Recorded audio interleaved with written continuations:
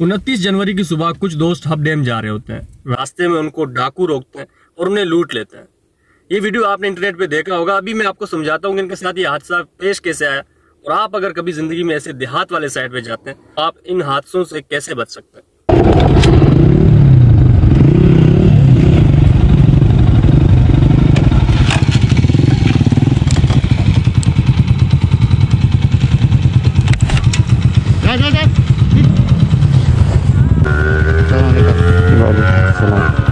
भैया ना करें ऐसा।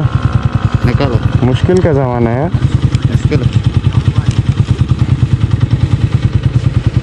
बंद कर दूँ। ऑफ़ कर दें घर वाले कॉल करेंगे। हाँ कैसे दो। पैसे।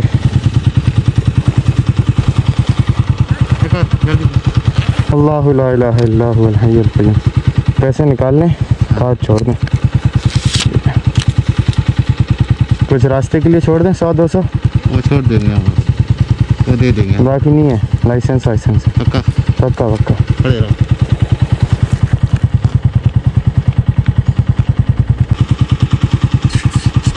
मैं ये वीडियो इसलिए बना रहा हूँ क्योंकि सबसे ज़्यादा हब डैम को मुझे लगता है मैंने प्रमोट किया। मेरे चार पाँच वीडियोस मैंने हब डैम पे बनाए जिनको लाखों लोगों ने देखा। तो मैं नहीं चाहता कि कोई मेरी वीडियो देख के ऐसे जगह पे जाए और अल्लाह ना करे कल को उसके साथ कोई ऐसा हादसा हो।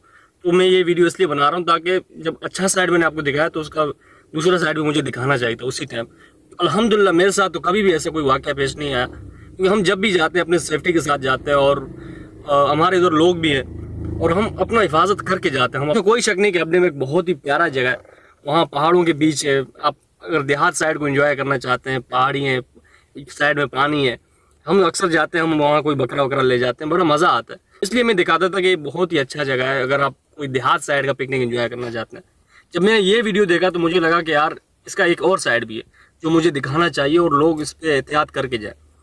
अब मैं आपको इन लड़कों की कहानी सुनाता हूँ। ये लड़के निकले थे सुबह फजर के टाइम इनको जाना था तंगला डैम जब ये हमदर्द के पास पहुँचे तो लोगों ने इनको बताया कि उस तरफ़ आजकल बहुत ज़्यादा लूट मार हो रही है।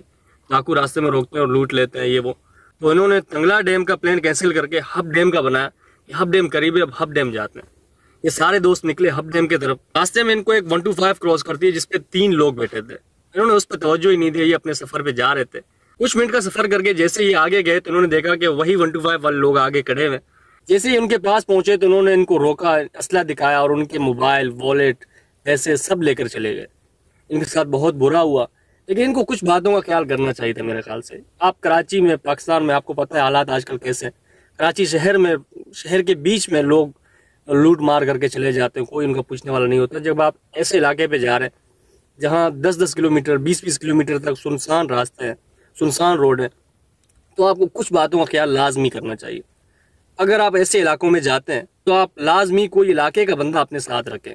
जब वो आपके साथ होगा तो आपके साथ ऐसा हादसा पेश नहीं आएगा। वो मैं बताता हूँ क्यों? क्योंकि ये जो चोर होते हैं, ये कोई बाहर के नहीं होते जैसे कराची शहर में कोई भी लूट मार करके चला जाता है वैसा वहाँ पे नहीं होता। ये जो लोग होते हैं, ये आप आस पास के गाँव के ही होते हैं। अगर आपके पास कोई इलाका ही बंदा साथ होगा तो ये आपस में एक दूसरे को पहचानते हैं। तो ये आपको तंग नहीं करेंगे। मुझे दिल से दुख हुआ, जो भी उन लड़कों के साथ हुआ है, उनका मोबाइल, पैसा, ये सब कुछ लेकर गए थे। मैं नहीं चाहता कल को आपके साथ भी ऐसा कुछ हो, इसलिए मैंने ये वीडियो बनाया। अल्लाह आपको हमेशा अपने हिफ्स ओमान में रखे। मैं और आप मिलेंगे किसी एक नए वीडियो में, तब तक लिए अपना बहुत सारा ख्याल रखें। अल्लाह हाफिज़।